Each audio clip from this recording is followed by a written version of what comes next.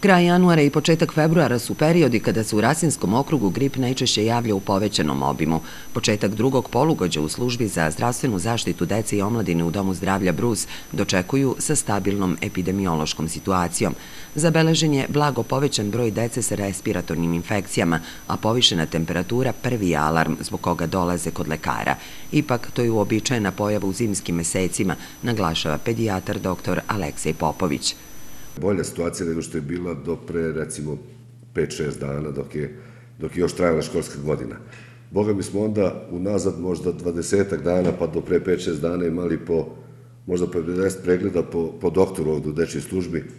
Javljali se deca sa slinavljenjem, kašljem, temperaturom, klašnim e, simptomima koji asociraju na virusne infekcije koje su i karakteristične za ovaj period godine, pa se tako to one javile i, i ove godine. Ja. Sad je već malo bolje, verovatno je raspust doprino tome.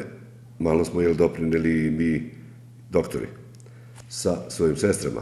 Virusne infekcije u stvari same prolaze, samo treba malo da im pomognemo. Čak se ovaj, mi Srbi mnogo više plašimo ovaj temperature i kašća nego što bi trebali da se plašimo. Temperaturu nam je priroda dala da bi se lakše odbranili od virusnih infekcija. Kaštemo takođe da bi izbacili te viruse, tako da ni jedno ni drugo da kažem nije strašno. Ove, strašno to može da bude jedino kod imunodeficijentnih osoba, dakle kod osoba gde, je imunitet e, dokazano loš, a to je ultra redko, hvala Bogu, u našoj populaciji, tako da, da u većini slučajeva, u apsolutnoj većini slučajeva, te virusne infekcije prolaze same od sebe, jel, u našu, e, uz, uz naše savete, uz, uz dobru hranu, uz Uh, uz, uz dobru higijenu prostora, uz dobru ličnu higijenu, sve to lepo prođe. Ukoliko se pojave neki simptomi poput povišene telesne temperature, kašlja, grebanja u grlu, treba se javiti lekaru i ne preduzimati nikakvo samolečenje. Povišena temperatura prisutna je 2 do 3 dana, a antibiotici se uključuju tek ukoliko dođe do komplikacija i infekcija traje duže, naglašava dr. Aleksej Popović. Vrlo je čest, da kažem, zahtev naših pacijenata iz neobaveštenosti ili neznanja, zašto ne reći i to, je da e, se prepišu neke, neke kapsule, neki antibiotici, neka zamene injekcije ili do skoro je bilo da primim ja neku injekciju doktore.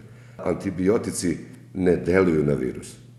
I ne samo što ne deluju na virus, nego mogu da naprave lošije čoveku koji posegne bez potrebe za njima.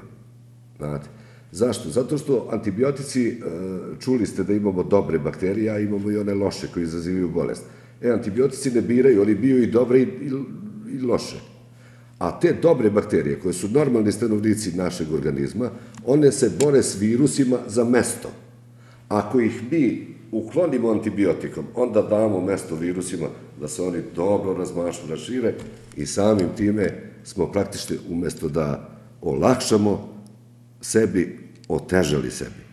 E, to je dobar razlog da, da, da ovaj, ne posežemo za antibioticima kod virusnih infekcija, sem, kažem, kod imunodeficijentnih ljudi, što je ultra redko, ili kod ljudi koji su iz raznoraznih razloga upali u komplikacije virusnih infekcija. Opšta je preporuka izbegavanje većih skupova, a prilikom prvih simptoma kijavice praćene visokom temperaturom treba ostati kod kuće.